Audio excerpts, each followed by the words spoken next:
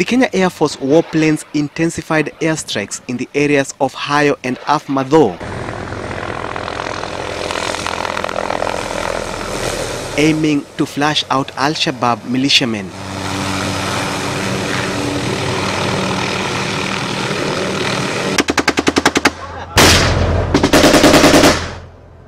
Reports say that Al-Shabaab militia suffered heavy casualty, but the numbers could not be confirmed since the militiamen cordoned off the camps that were struck during the airstrike.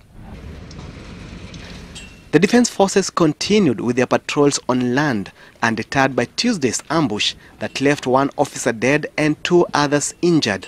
A KDF convoy defused two improvised explosive devices which had been planted near Beleskokani. The officers also managed to get communication gadgets left behind by the Al-Shabaab militants at the roadside.